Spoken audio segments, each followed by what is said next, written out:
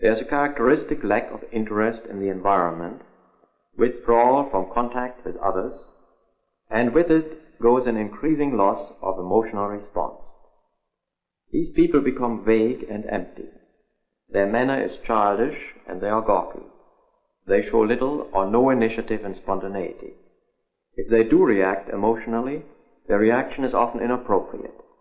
They have, of course, no real plans for the future. In spite of this general impoverishment of their personality, many of their intellectual functions remain intact. Memory and orientation are not impaired. The patient we are going to see is about 40. She has been sick for more than 10 years, lives quietly in the hospital, doing simple work in the laundry. She seldom speaks unless spoken to, and does not mix with the other patients. But she is really quite contented, and her lack of energy and animation is not due to depression and despondency, but to apathy. She might, during the interview, demonstrate inappropriate emotional reaction particularly smiling or laughing when discussing serious subjects. She complains of auditory hallucinations, voices, and strange feelings of being controlled by unseen forces, though these are not especially common symptoms in the simple type of schizophrenia. And how long have you been here? I, I think uh, I think that'd be 14 months in uh, December beginning of December. In this place? Yes. You like it here? Yes, I like it when it's quiet. You like it when it's quiet? I find it too noisy, all those patients. Sometimes it's noisy here because of the other patients. Mm, Why do you like it better when it's quiet? Have you always liked it quiet, or I've been used to uh, living where it's quiet, except for the railway. you told me once that you didn't like the radio Yes. in the hospital? I was unhappy when they brought the radio.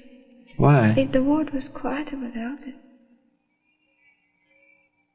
Well, if you're very quiet, what are you doing? Are you reading, or are you thinking? Not reading either. You don't like reading? What are you doing? I think music's better.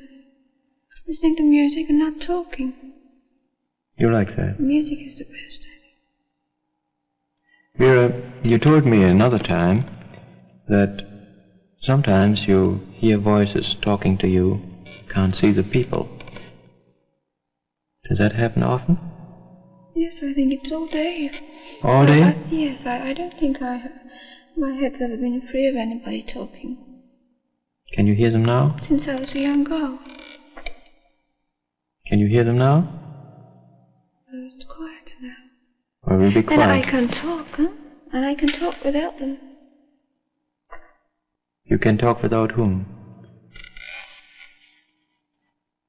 They take away my talking. The voices? Yes, How do they do it? I don't know. Can you tell me what they're saying? I mean, I, I don't pay any attention to what they say. But you understand them.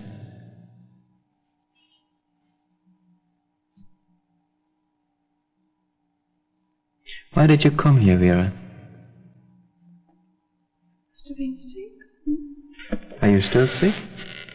No, I'm much better now. But you like staying here.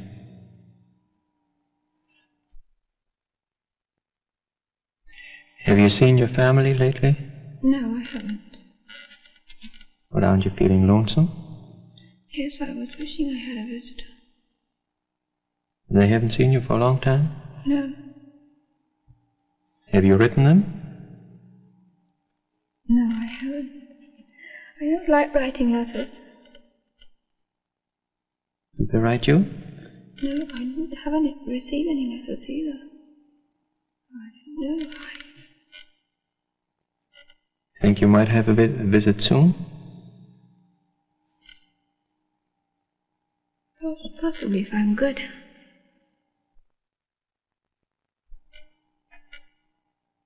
You know what day it is today? Thursday.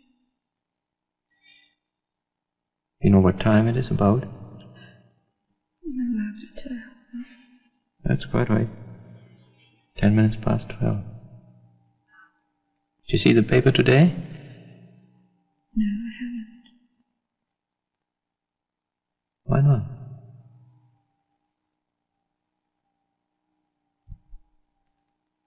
Don't like reading? Like magazines. I hate magazines.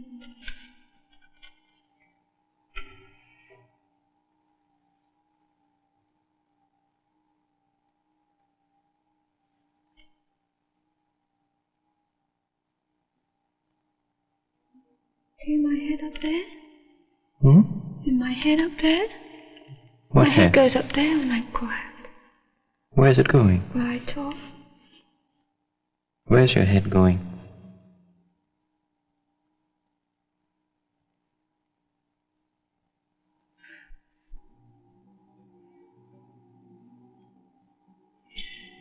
What would you like to do now, Vera? I was playing the piano. I, I was enjoying playing the piano for a few minutes.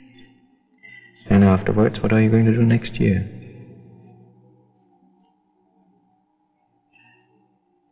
I'd like to play the piano next year. Well, let's suppose, um, just for a minute, that you would have a hundred thousand dollars. Yeah. What would you do with it?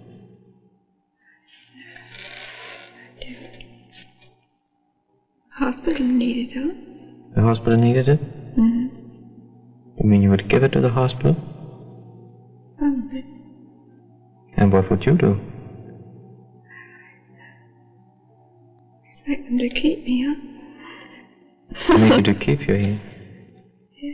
Because you like it here. How do you feel? I'm feeling better, thank you. Feeling better?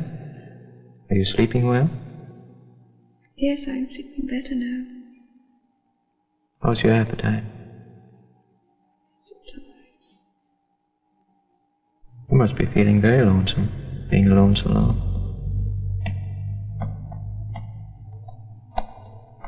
Are you? Yes, I was lonely, yes. Why are you smiling?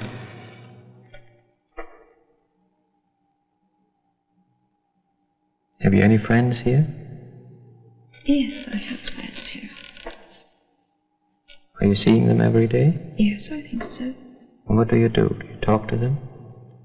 When, when I'm allowed to, yes. You're always allowed to, you know. Oh, yes.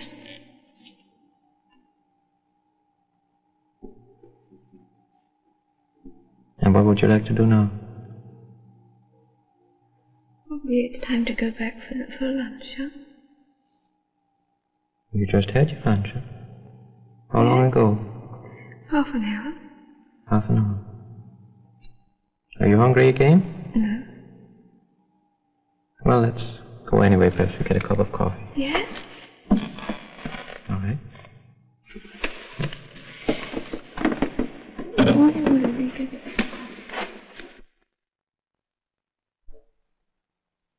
You have seen in this patient apathy, indifference, inappropriate emotional reaction.